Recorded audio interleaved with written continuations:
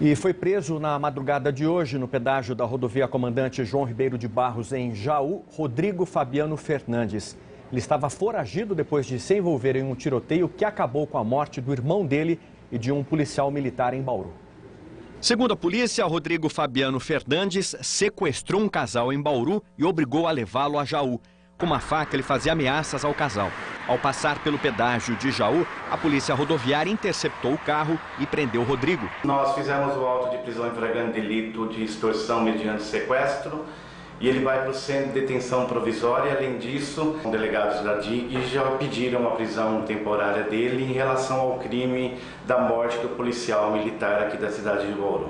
Na segunda-feira, Rodrigo foi abordado pela PM em atitude suspeita na região do Jardim Ouro Verde. Com ele foi encontrada uma porção de droga.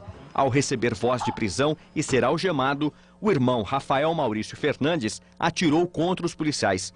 O soldado Yuri José da Silva, de 27 anos, morreu depois de ser baleado no tórax e na cabeça.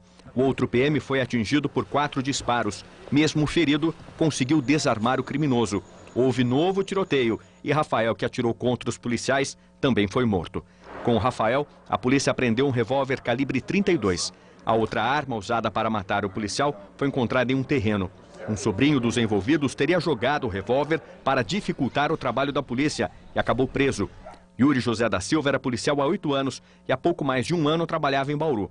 Ele deixou a mulher com quem era casado há dois. O policial ferido está internado em um hospital particular de Bauru e não corre risco de morte.